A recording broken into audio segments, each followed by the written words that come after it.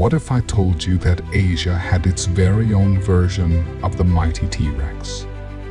Meet Tarbosaurus, a giant predator that roamed Mongolia and parts of East Asia nearly 70 million years ago.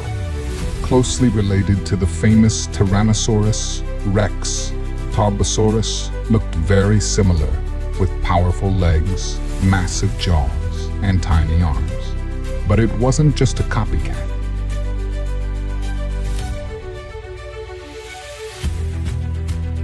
This apex predator was slightly smaller than T-Rex, reaching around 40 feet in length, but it was just as deadly.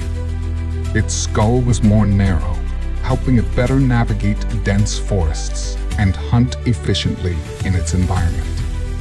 With sharp teeth, built to crush bone and a strong tail for balance, Tarbosaurus was a fearsome hunter, stalking prey like hadrosaurs and sauropods. But what makes Tarbosaurus truly fascinating is that it evolved independently from T-Rex on a different continent, showing how nature can create similar monsters in different parts of the world.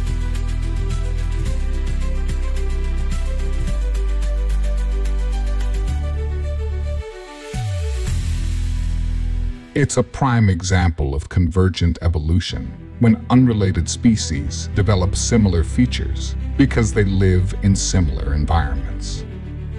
Fossil discoveries in the Gobi Desert have revealed incredible details about its skeleton, feeding habits, and even how it may have competed with other predators. Some scientists even believe Tarbosaurus may have hunted in packs or displayed dominance over rivals using roars and body language.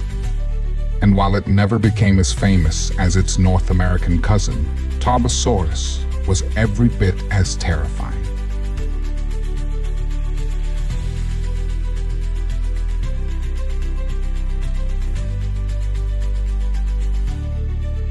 It stood at the top of the food chain, ruling prehistoric Asia with sharp teeth and raw power. So the next time you hear about T-Rex, remember on the other side of the world, another king ruled the land.